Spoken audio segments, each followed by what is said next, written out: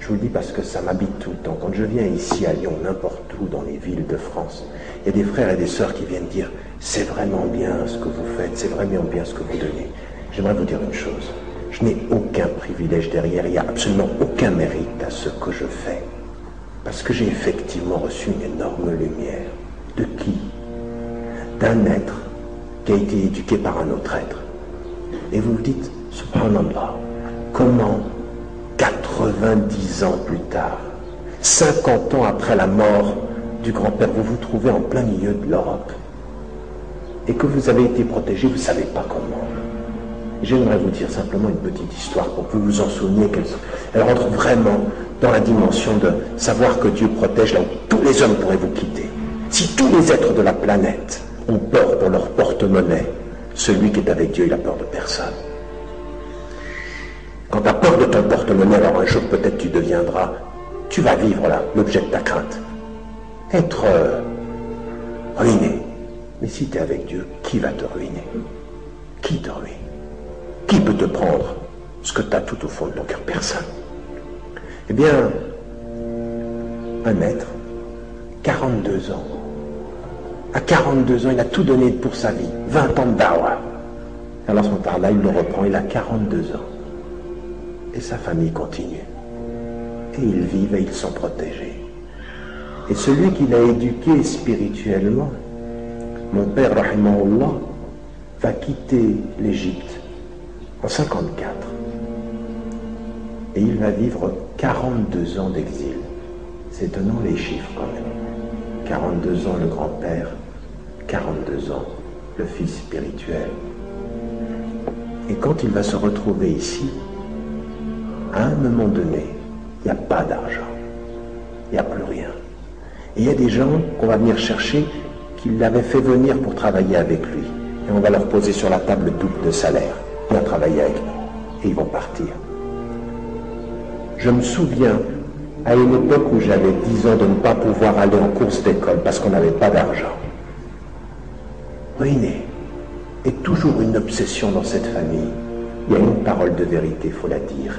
Il y a un Dieu. Il faut lui faire confiance. Et vous ne savez pas comment. Alors qu'il n'y avait plus personne, Dieu y fait sortir un enfant. C'est le premier, il est médecin. Et il a entendu son père à 15 ans devant des émirs qui lui disaient Travaille pour nous, tu auras de l'argent. Il a entendu son père dire Non, l'argent que vous me donnez va venir sur la paume de ma main. Par ordre de Dieu, je ne travaille que ce qui vient dans le cœur. Il a entendu à 15 ans dire ça.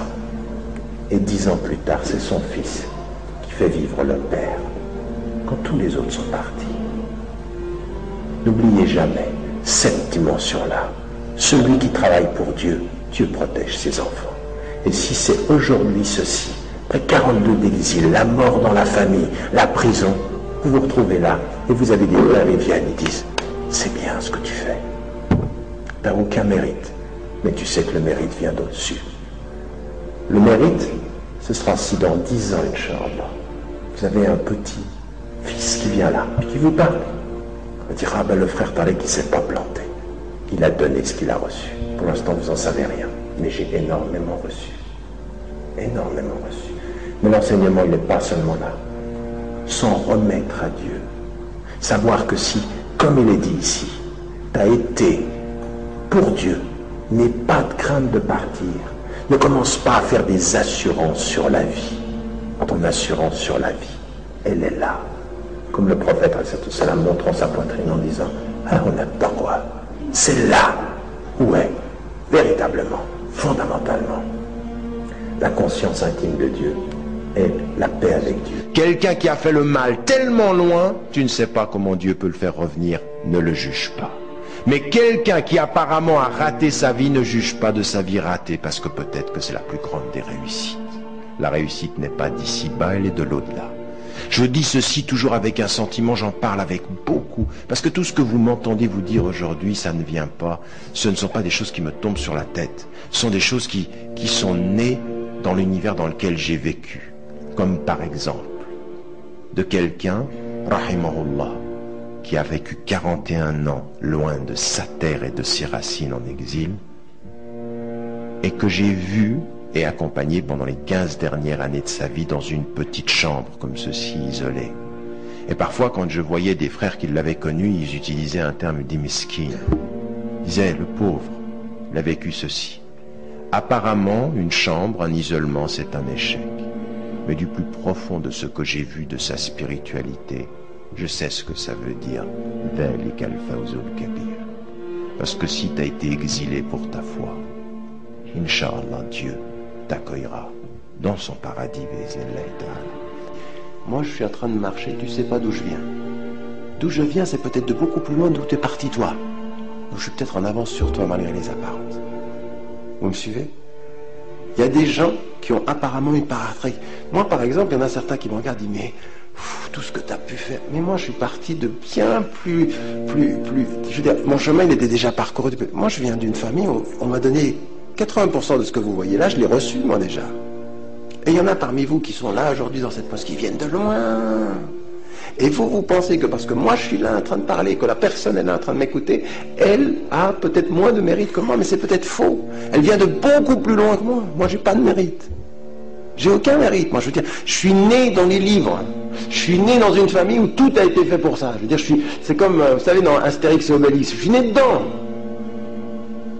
Et vous dites, Masha'Allah. Il n'y a pas de Masha'Allah pour moi. Moi, c'est vraiment, vous verrez mes enfants, vous direz, ah, il n'a pas, il pas échoué. C'est mes enfants qui seront la preuve de là où je viens, moi. Mais de ce que j'ai reçu, moi, il faut dire, alhamdoulilah, à mes parents. Et à mes grands-parents, tout ça, je suis né dedans. Et moi, j'aime beaucoup parler de ce point de vue-là de quelque chose qui m'émeut toujours, chaque fois que j'en parle. Je fais référence à un de mes frères. Et j'en parle d'autant plus facilement que c'est l'aîné de la famille, que c'est Ayman, Allah, qui est médecin. Il est médecin, il ne fait pas de da'wa au sens où il ne fait pas de conférences comme ça, à tel point que vous ne le connaissez pas. Certains le connaissent, mais la plupart d'entre vous, moins. Moi, je vais vous dire une chose. Dans son travail, comme médecin, c'est pas le lieu, quand vous allez opérer, de commencer à faire un discours sur Dieu, n'est-ce pas? Eh bien, ceux qui s'approchent de lui, ses patients, ses collègues de travail, des gens qui travaillent là où il travaille, eh bien, j'en ai une quantité que j'ai entendu dire et relever une attitude qui se lie à quelque chose dans cet homme. Il parle pas, mais on voit tout. Dans sa façon de traiter le patient dans sa façon de l'accompagner, dans sa façon de lui parler, dans sa façon d'être présent, dans sa façon d'être généreux. On sait qu'il y a quelque chose qui l'habite, mais il n'en parle pas. Il agit avec ce qu'il habite. Souvent, souvent on vient me dire euh, Ah, mais euh, tu viens de, de, de telle famille. Oui, quand je viens de telle famille, vous pouvez saluer ceux qui m'ont éduqué. Mais pour me saluer moi, il va falloir voir mes enfants. Priez pour eux, Inch'Allah. J'aimerais vous dire une chose, parce que si je suis là aujourd'hui, on a rappelé tout à l'heure, un passé, je suis le.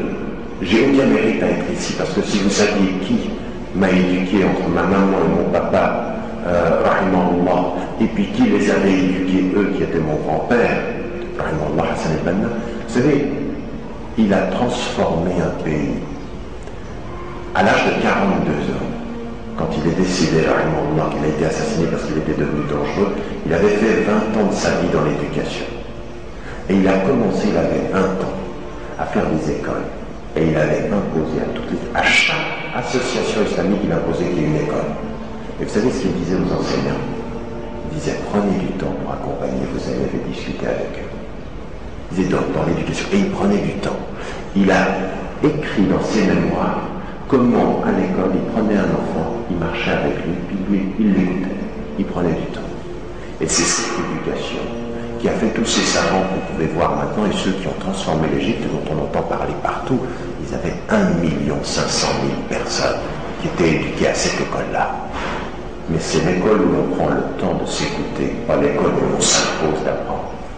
Les Mudhakirat de Hassan el-Banna, c'est le Mudhakirat al-Da'wa al-Da'iyya qu'il a écrit jusqu'en 1940 et qui rapporte les faits, où il explique un tout petit peu ses expériences. Et ce n'est pas un hasard qu'il explique à ce moment-là qu'il a été très touché par ce professeur pour une raison particulière dont il faut se souvenir et qui est intéressante, c'est sa façon particulière d'établir un rapport avec ses élèves faite et emplie d'affection, d'écoute et de rigueur et d'exigence. Hassan el-Banna, dans tous les projets d'école par la suite, insistera beaucoup tant sur l'exigence que sur le rapport affectif et le rapport fondamentalement basé sur l'humanité entre le professeur et l'enseignant. Et il dit dans ses Mudakkirat qu'il l'a eu de cet homme-là. Comme quoi, dans la jeunesse, ces choses-là l'ont marqué. Une chose de particulièrement intéressante, là également, qui sera vraiment dans la cohérence de sa pensée. Il essaye d'établir les meilleurs moyens pédagogiques. Il y a des cours de géographie, il y a des cours d'histoire, elles se font en plein air il a l'habitude de faire sortir les élèves, il discute avec eux, il fait en sorte que la relation professeur-élève soit, euh, soit extrêmement intense. On fait de l'arithmétique avec les éléments naturels, c'est-à-dire qu'il utilise les meilleurs moyens pédagogiques pour essayer de les appliquer dans sa pédagogie. Et il ne s'arrête pas dans cette école à l'enseignement religieux, il fait également tout le programme primaire et il y ajoute un enseignement technique. Regardez, un enseignement technique, c'est-à-dire tu apprends dans un savoir aussi qui va devenir utile. Jamais, et dans aucune des écoles que les euh, frères musulmans par la suite penseront, la dimension pratique, concrète, pragmatique ne sera négligée.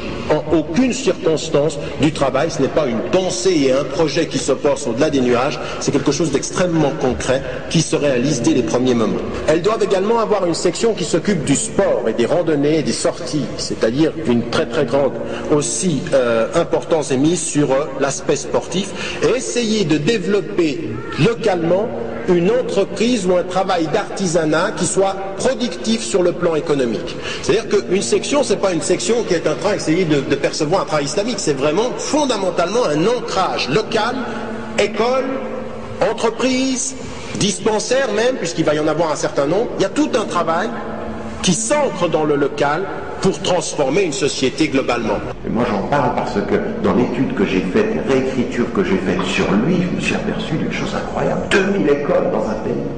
2000 pour les hommes et pour les femmes.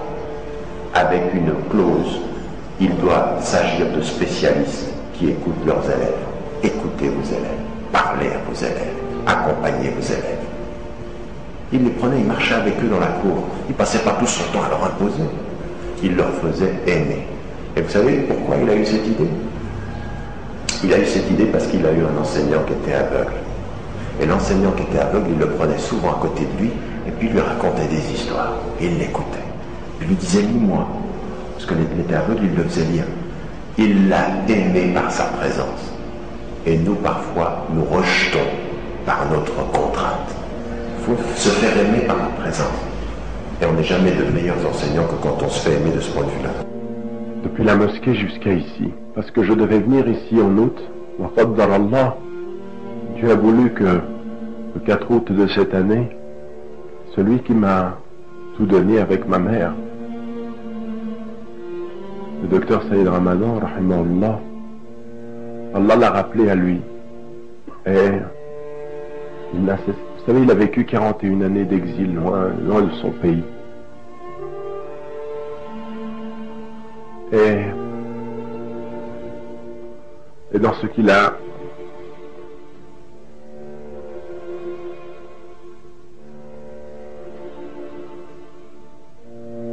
et dans ce que je ressens maintenant,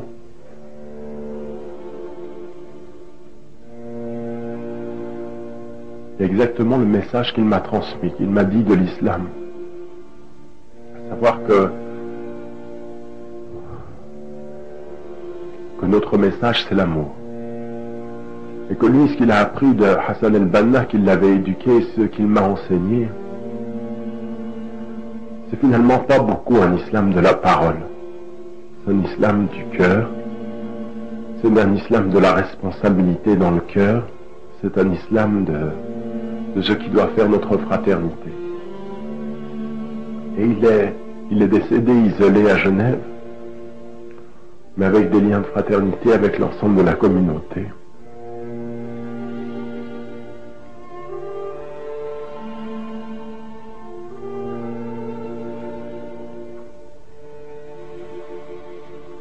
J'aurais voulu lui dire, mais je lui l'ai dit d'ailleurs, tout à l'heure lors de la prière, combien que j'avais vécu ici avec vous.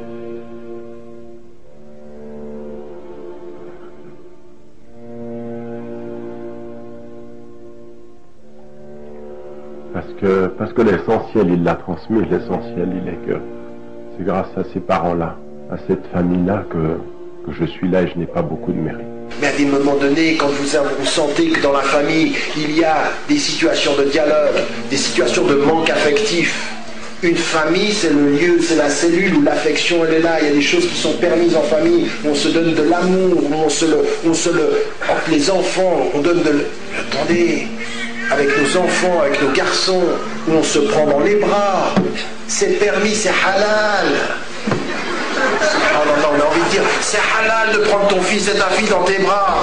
J'espère un jour que mes enfants pourront dire un petit détail comme celui-là qu'il leur reste de la mémoire de leur père et de leur mère, Inch'Allah.